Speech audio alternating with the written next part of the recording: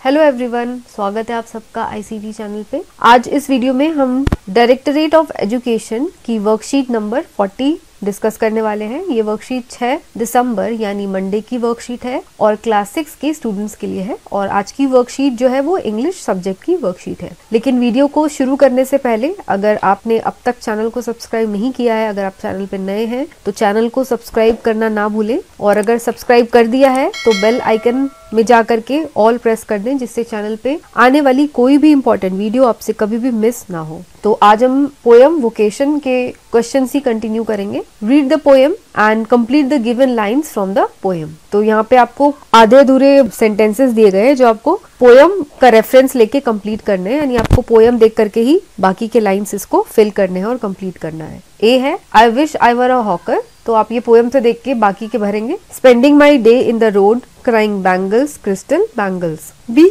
I wish I were a gardener, digging away at the garden with nobody to stop me from digging. See, I wish I were a watchman, walking the street all night, chasing the shadows with my lantern. तो ये तो हमने poem से देख के कर लिया। अब क्वेश्चन टू है try to complete the following sentences अब ऐसे ही आपको इनकम्प्लीट जो है फ्रेजेस दिए जो आपको कंप्लीट करने जैसे हमने पोएम को कंप्लीट किया लिख करके, वैसे अब आपको खुद से आगे के सेंटेंसेस बनाने हैं और इसे कंप्लीट करना है। ए है if I were a soldier तो अगर मैं सैनिक होता, मैं सोल्जर होता तो मैं क्या करता या कैसे करता तो ये आपको अपने हिसाब से, अपने तरीके से लिखना है। If I were a soldier I would fight a mighty war and make my country proud be if I were a chef chef यानी जो खाना बनाता है बावर्ची, उसे शेफ बोलते हैं। तो if I were a chef I would cook tasty meals and make everyone wonder how delicious it is third है if I were an artist artist यानी जो पेंटिंग करता है, जो ड्राइंग बनाता है I would paint all day long with my brushes colours and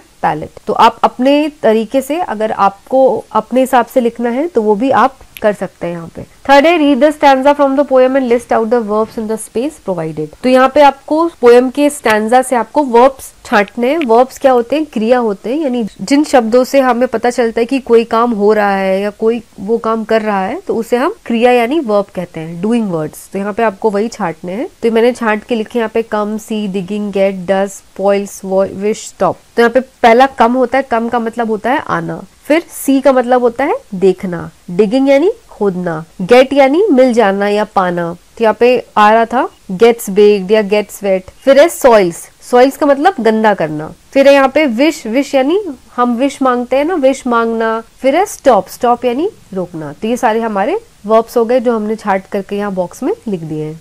तो इसी के साथ हमारी आज की वर्कशीट यहाँ पे समाप्त होती है। तो अगर अब तक आपने चैनल को सब्सक्राइब नहीं किया है तो आप आईसीटी चैनल के नीचे जाके चैनल को सब्सक्राइब कर लें और सब्सक्राइब करने के साथ बेल आइकन दबाएँ और ऑल सेलेक्ट करें। ऑल सेलेक्ट करने से आपको जब भी चैनल पे वीडियोस अपलोड होंगी, आपको उसका इंस्टेंट नोटिफिकेशन मिल जाएगा और आपको वीडियो सर्च नहीं करनी पड़ेगी। और इसके साथ ही आप हमसे टेलीग्राम चैनल पे भी जुड़ सकते हैं आईसीटी चैनल पे। टेलीग्राम चैनल पे भी वर्कशीट्स रेगुलर अपलोड होती रहती है। वहाँ पे जाके आप वर्कशीट को डायरेक्ट लिंक से ओपन कर सकते हैं और साथ ही साथ आपको आंसर्स के पीडीएफ भी यहाँ से मिल जाएँगे। तो आज के लिए बस इतना ही। अगर आपको आज की ये वीडियो पसंद आई हो तो लाइक बटन को ज़रूर दबाएँ और इस वीडियो को आप अपने सारे फ्रेंड्स के साथ भी ज़रूर शेयर करें। मैं मिलूँगी आपको अगली वर्कशीट के साथ। तब तक के लिए take care stay safe and have a nice day